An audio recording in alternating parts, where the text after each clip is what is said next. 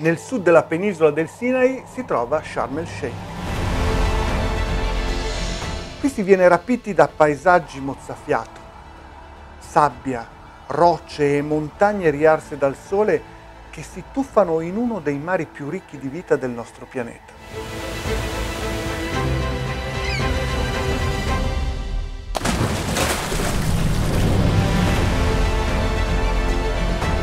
Il Mar Rosso con i suoi relitti, i colori, i coralli e le infinite nuvole di pesci dà spettacolo.